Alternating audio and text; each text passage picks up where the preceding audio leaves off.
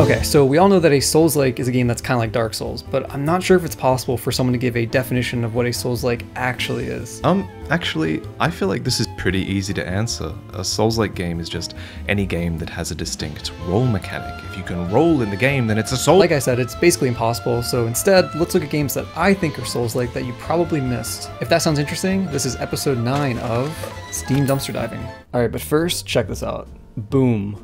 Boom. Boom. So yeah, I've once again been sponsored by and have partnered with Displate to create a poster inspired by one of my favorite games of all time, Bloodborne. The idea was to reimagine the game coming out during the N64 era or some sort of tactile toy set. And this was so much fun to do, Kevin's computer did an amazing job. I'll talk about it more at the end of the video, but if you're interested in this poster or the two other ones I've made in the same style, click on the link in the description and uh, check it out. But yeah, let's play some games. Alright, up first we got Metamorphos. This is a free game and it's actually a student project from the DigiPen Institute of Technology, which is a university from Washington. When it comes to the games I play in these videos, I think there's something like particularly inspiring about student projects and they're really fun to look at, so I'm excited to check this one out. Let's do it. I'm a little guy with glowing eyes. I'm getting like Egypt vibes. That's actually cool as hell. I like that dodge. So we got light attack and heavy attack. Oh, Russ, got a bonfire? Oasis found. Okay. You know, we're in Egypt. We got an oasis. Makes sense. oh, fuck, I'm burning, apparently. Okay. Alright. Whoa, whoa, whoa. Heal. Alright, I guess I just kind of like sniff my hand to heal. That's good. You know, this doesn't look bad. This actually looks like pretty good. I wish I had some sort of like block or parry. But I don't think I do. Bonk. One thing that this game really captured, you know, about the, the whole Souls experience is just having a lot of pots and barrels to break. Um, because at the end of the day, I think that's what Dark Souls is like really about. This feels like a mini boss. Or a boss, okay. Ow, ow, ow. Ooh. There we go. I'm gonna guess this hurts me, but let's find out. Well, I'm really surprised this is not hurting me. Like, this screams poison water or something bad. Oh, here we go. I like this guy already. He actually has like a surprising amount of moves, like... You know? Oh, I'm, I'm gonna fucking burn to death. Oh, there we go. okay, alright. Oh no. Alright. Ow. Oh wait, I turn to glass when I die. His belly button is just a flamethrower.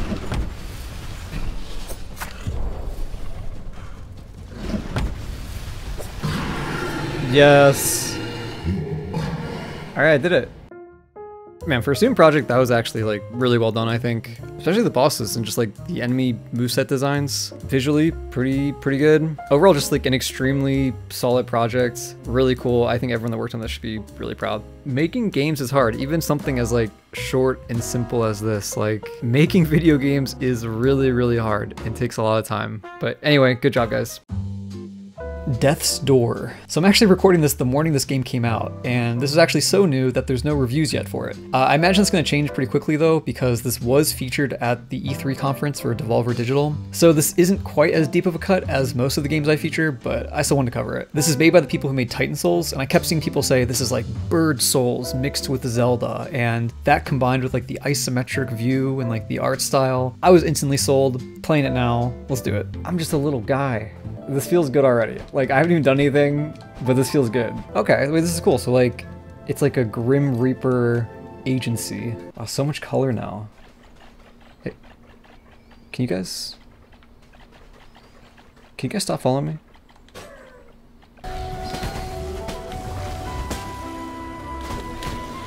Oh, fuck. Wait, this is cool! Oh, this game looks so good. Would you like to increase your combat abilities? Yes! Oh, there is leveling. Okay. This game is a fucking Souls-like. Am I killing you? Hmm, unfortunately I'm still alive. That's a mood.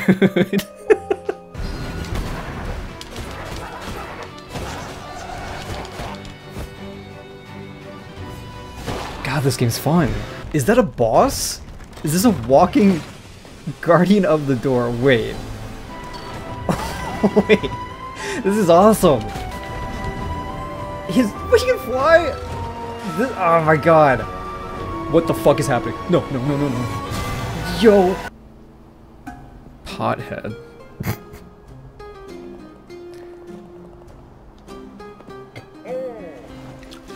he has soup in his head. Yeah, I think I'm definitely gonna beat this game.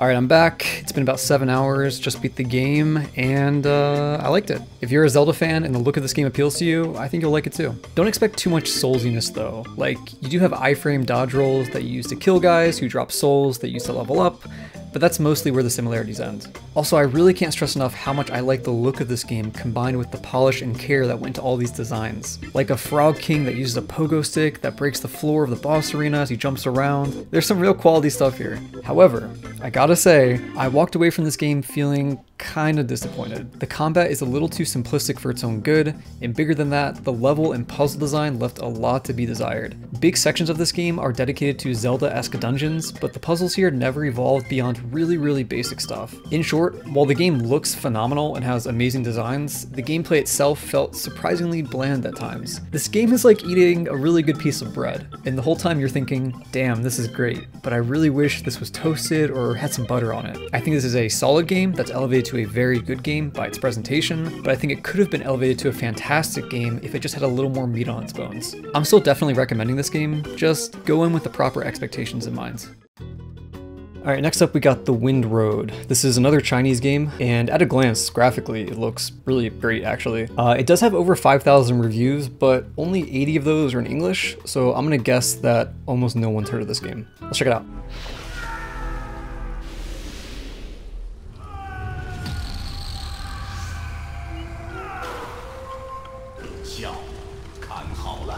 Tab 键打 Whoa 开系统菜单，可以看到背包，也可以装配或更 Bro, I- 换心仪的武功，还可以查看每种武功招式的详细介绍。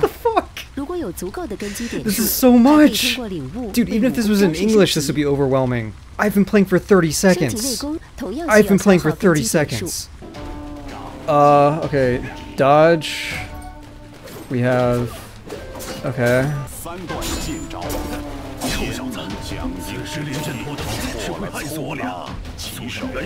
what the fuck is happening? Dude, this tutorial is like the equivalent of like some guy just like shouting in your ear and like constantly be like, no, wrong. One, two, three. One, two, three. Yep. One, two, three. Switch dance. One. Okay, there we go. Thank God. Sure. I think I just drank poison. I have an internal injury now. I need to go check that fatty. Jump on the cow. Oh, you can jump on the cow? Okay. Why does the child have a larger head than, like, the adult right next to him? Whoa, shit! Here, try to, try to hit me. Try to hit me. No. Try again. Try to hit me. Nope. Yep. This is really weird so far. At least I can jump on stuff. Any game that lets me jump on stuff, like, I like a lot more. What is happening? Whoa. Whoa. Okay. You wanna? Okay, okay, okay, alright. Whoa, my god.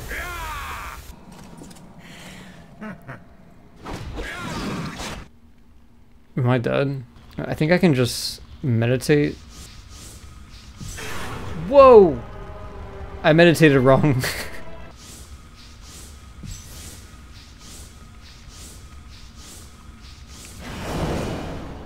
Full recovery. The bleeding has stopped. Ow. Ow. Is he... Is he gonna stop? Is he gonna stop? Bro! Dude, stop doing that move! Stop! Oh my god! How do I stop him? Uh, I don't know what's happening. I really don't know what I'm doing. I think I'm doing good though. Alright, I got him with the, the fighting game combo. Who who? Whoa, my god, this guy's big. Can I, can I jump on you? Oh, I did it. Yes. Wait, can I meditate? Yes! You know what? I feel like this might be a good place to stop, actually. I don't know... I don't know if it's gonna get better than this. I feel like I kind of get what this game's going for, and I've seen enough. I'm not gonna have more fun than I'm having in this very moment. Alright, I want to do these two games together because they're kind of similar. They're both very good Souls-like Metroidvanias, and they're both games that get a recommend from me. Let's start with Ender Lilies. If there's one game you've already heard of before watching this video, it's probably this one. I've seen it get some coverage from other people, and it's very deserved. I love the art style. I think it's really beautiful, and the game itself is dripping with atmosphere. It also has a remarkably similar setting to Dark Souls, with it taking place in a fallen kingdom with loads of undead people and former knights. There is a story, but most of it is told through bits of lore and notes you'll find scattered around, which again, makes it feel soulsy. You play as a little girl named Lily, but naturally, she's not a fighter, and that's where this game transforms into the JoJo stand game, because instead of attacking anything directly, you summon the spirits of other humans and monsters to attack for you. This is easily the best part of the game because you're constantly expanding your collection of attacks, and you can mix and match them in interesting ways to create cool combos. Use a sword, summon a whirlwind, and launch a dragon all at the same time. This leads to some fun creativity when deciding what skills you want to level up and prioritize. Enemies can feel a little spongy at times, but for the most part, I had a lot of fun with the combat. Now the game never gets bad by any means, but there is a feeling of inconsistency across the experience, whereas the deeper you get into the game, areas feel like they got less care and attention visually and in terms of level design. This also unfortunately extends to boss fights at times, with some of them being really good and some of them being kinda eh. Again, not bad, but not nearly as consistently great as something like Hollow Knight might be. Also, the platforming in this game rarely does anything particularly interesting. Once again, it's not bad, but when you compare it to other Metroidvanias, it's sort of middling. Either way, I enjoyed this game a lot, got the true ending, and it's a pretty solid recommend from me. Next, let's talk about Vigil the Longest Night, another Souls-like Metroidvania that hasn't received near the level of attention of Ender Lilies, which is surprising because I think I actually like this game more. If you've played Salt and Sanctuary, you'll feel right at home here, and that's no surprise given that the devs listed it specifically as a source of inspiration. This is a very Bloodborne-esque game with lots of Lovecraftian elements to the story, world, and boss designs. They nailed the look of this game, and the story goes in some pretty wild directions. Combat feels great, there are four different weapon types, each with their own skill trees, and they all feel fun and distinct. The level of variety here is seriously impressive. There is so much unique gear in the form of armor and weapons, and each piece is modeled individually on your character, which these sorts of games don't always do. There are also so, so many different magic spells to find. However, I do have to note that the balancing this game is a bit of a mess given how easily you can cheese most enemies and bosses with certain spells. For example, there's this one spell where you summon magic birds, and the way in which you can just spam this spell trivializes pretty much every boss in the game. For that reason, this game can be a little too easy if you take advantage of all the tools it gives you. The real draw for me personally, and why this game clicked with me so much, is that the exploration is fantastic. Once the second act starts, the game really opens up, and you have so many different places you can explore. And within each of these places, there are so many secrets to find. So many unique pieces of armor, weapons, rings, spells, items, etc. Overall, I highly recommend this game, and I seriously don't understand why more people haven't talked about it. Alright, up next we got Two Months. The developer of this game says, Two Months is a Souls-like action RPG adaptation of one man's struggle to develop the ultimate handheld computing device. Definitely a weird premise for a game, but uh, let's check it out. Alright, here we go. In the age of smartphones, the world was flooded with uniform devices. The furtive Sebastian so easily forgotten. Okay. We're a gamer guy, I guess. We do be playing. Band Slammer. Ooh. Bro! Bro, he attacks too fast. Go, go, go, go, go. Oh. Okay. Pyra LCD. So I think the plot of this game is I'm collecting the parts of a smartphone?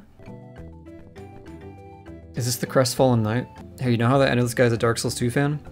Bearer, seek, seek, lust. Very interesting. So the way you level up in this game is you have to fit different Tetris pieces onto the board.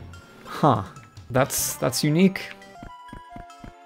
Dude, 2B has nothing on this. What the fucking hell? Bro! Whoa, whoa, whoa, whoa, whoa, whoa. Bro. What the? I can sense your envy. You want abs like mine, right? Yeah, I do. Come on! oh my... No, no, no, no, no.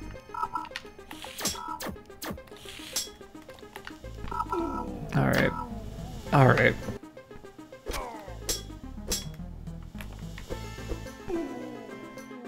I think I'm... I think I'm done.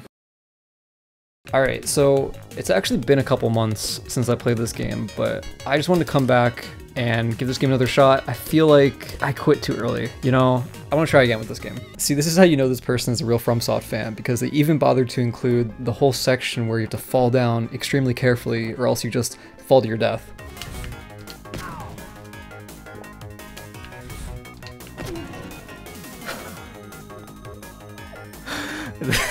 This is...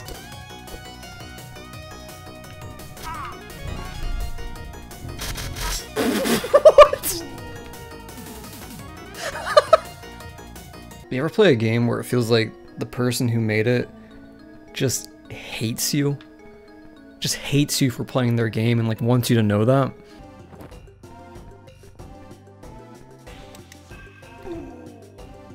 I'm fucking done with this game. Holy shit. Okay, I really did try with this game, even to the point where I came back a couple months later to play it again, which is something I don't do, so I don't really know why I did in this case, but I did. So here's the thing, I can tell that whoever made this is a fan of the Soul series, and a lot of that is very apparent. However, this game has some of the most irritating boss and level design I've ever seen. I think some people in their head consider the Soul series to have like trial and error gameplay, and it really doesn't. And that's part of what makes it so fun is that like you are actually always in control and there aren't really quote unquote cheap deaths. This game has so many of those to the point where like I, I just felt like it was wasting my time. And you know, so I'm curious if this person actually does consider the Soul series to have that kind of gameplay. I do want to end on a positive note though. I do think that the upgrade mechanic in this game with like the Tetris pieces and how you have to like rearrange them and like decide what you want I think there's like a really interesting nugget of an idea there, and if that was like expanded upon in a different game, you could have a really interesting leveling system. So cool idea there, but definitely a pass from me on this game. Up next we got SgyuinBaldo. This is another student project, but this time it's from Japan, from the Vantan Game Academy Tokyo. And what caught my eye about this game was the first review I saw on it that said, really happy that Demon Souls has finally come to PC slash Steam. So is this really Demon Souls on PC? Is this good enough for those of us that don't have a PS5? Let's check it out. Let's go Baldo. Got it, yep. Yep, yep, yep, yep, yep. Yep, I got it, I'm absorbing all of this. Even if I could read this, this is a lot to dump on a, like, a player. Just paragraph after paragraph of exposition. I don't know. Oh, here we go, we're in the game. Okay. I think he only has one arm. Alright, we are fighting Berserk. Let's try the punch.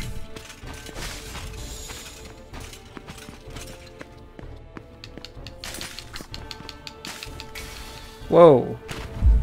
Killed by the demon. Okay, the biggest thing I'm noticing here is they made the main character way too fast, both like in terms of matching it to the animation and just like game balance itself. Like look how fast I can just walk around. I don't even need to dodge. I can just like, I can just walk around him so fast. Alright. Yep. Vanquish the demon. That's why they said it's like Demon Souls. I think the main character's name is... I think the main character's name is Baldo, but he has so much hair. Nice. Oh, it homes in, okay. What else you got? Ooh, ow. Ooh, ow. Ooh, stun locked.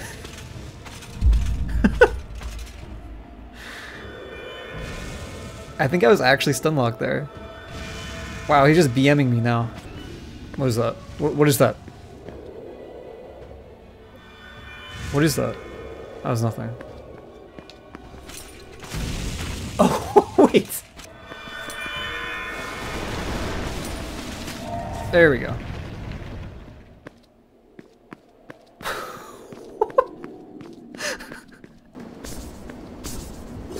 whoa, whoa. Okay. Yeah, I don't know about this one. He's just kind of... He's kind of just let me hit him. Alright. I did it. Okay, so the game didn't end, but I don't have any more levels to pick from. So I think that's just the end. Wait a second, why does he have two hands on the main menu? He should be missing that. Unfortunately, no, this is not Demon Souls on PC. Uh, it's actually really rough, to be totally honest. However, as always, I think student projects especially um, are really interesting to look at just to kind of like see the weird design choices they make and the ways in which they miss the mark are interesting. I hope the students stick with it. All right, we got Eastern Exorcist. This is a Chinese game from developer Wildfire Game, and right away, looks absolutely beautiful. On the page itself, it says it's going for a hand-drawn Chinese ink painting style, and that's a great idea. I think it looks awesome. Had a couple people recommend this to me, saying it might be a good fit for this series, so uh, yeah, let's check it out. You know, I love it when games let me jump, but I love it even more when they let you double jump. Mm. Bro, this game looks good. Stamina? Oh, there, we have stamina. Oh, if you don't dispel monsters, they come back significantly stronger. Oh, bonfire lit. Oh my god. oh, monkey boss.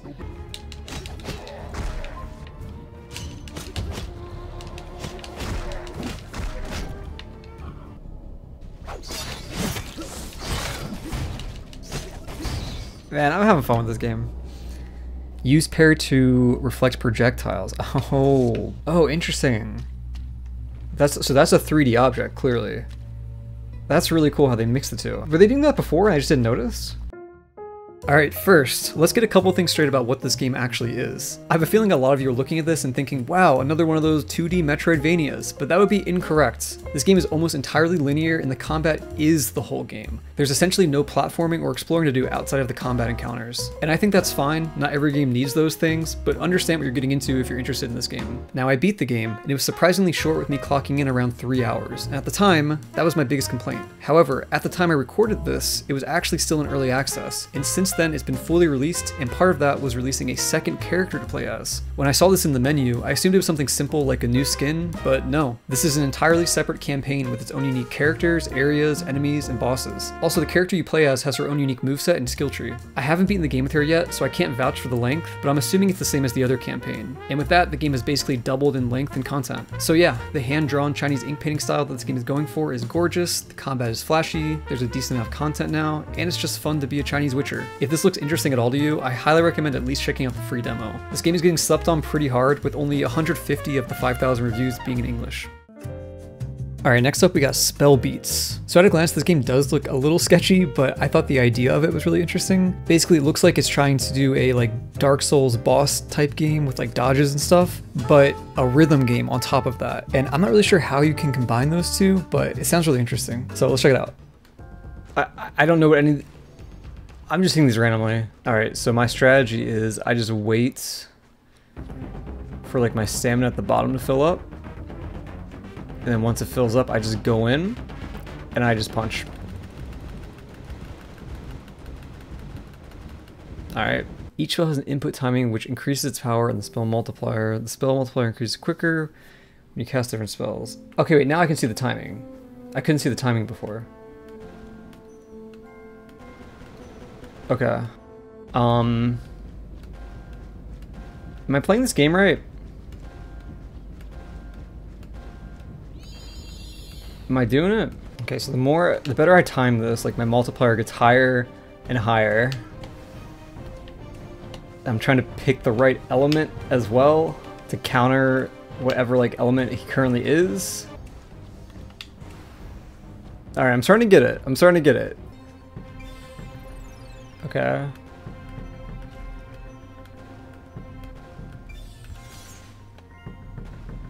Yeah, I, I don't know, man. Alright. Yeah, I, uh... I feel like I've seen enough.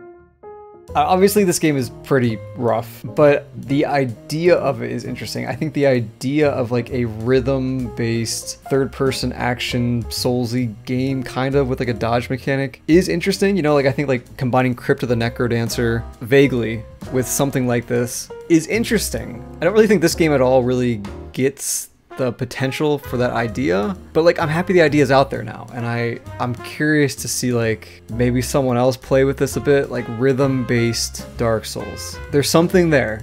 It's not this but there's something there Alright, a lot of people seem to like it last time when I talked about the Dark Souls one, so the rest of the video is just going to be me talking about the new Bloodborne poster and some of the references we put in it. And even if you have zero interest in actually getting this for yourself, I still think this will be like an interesting thing for you to look at. So first let's start with what's probably my favorite. Uh, Eileen the Crow feeding some crows like some bread. And I just think this is like such a cute and fun idea. I had to like Google it after I came up with it because I was like, has anyone done this before? Has anyone done Eileen the Crow feeding crows? And I don't think they have, unless I just missed it. Because it seems like such an obvious idea to me, but maybe it's not, maybe it's just obvious in my head, but I like this a lot. Next above her, we have Bloodborne Cart. This is a really fun one because Bloodborne Cart is such a huge meme in the community, and we wanted it to make sense, so we picked Alfred because Alfred's the character with the big wheel weapon, so we gave him a cart with a big back wheel. And we also gave him a Molotov cocktail with eyes on it, you know, kind of like a Mario Kart power-up bomb. Uh, yeah, really fun one, I think. Then we have the Celestial Emissary and a UFO abducting the Hunter because everyone always says these guys look like aliens, so I thought, you know, why not just put them in a UFO. And they also have a snatcher right next to him being like, hmm, interesting. I'll I'll remember this. So these guys right here are supposed to be the fishmen from the fishing hamlet in the DLC. But I thought it'd be fun to have them like literally be like fishmen, you know, with like fish heads. And what would be funnier than a fishman fishing another fishman with a fishing rod. I hope that's funny to other people. I think this is really funny, but maybe it's just me. Okay, next is when I, I hoped people would get on their own, but I'm gonna explain it anyway in case people don't get it. Uh, the Gascoigne boss fight, you know, you have the music box and playing it will make him transform early because there's like, you know, there's a story there. But we thought, why not have the music box hooked up to speakers and just have the hunter be blasting it and have Gascoigne be saying they're like, oh, this this is so loud, it hurts my ears, like, rah, you know, like, I don't know, it's just a really fun visual, I think. So there is more to talk about with this poster, but I'm gonna cut myself off here so I don't talk for too long. I think this poster is amazing. It might be my favorite of all three that Kevin has made. He did an amazing job. Please do check him out. He's in the description. Also, if you are still interested in getting this for yourself, there is a link in the description for that as well. And yeah, keep sending me game recommendations, keep sending me feedback. Uh, I do actually look at them, but I think that'll do it. Thanks for watching, and I'll catch you next time.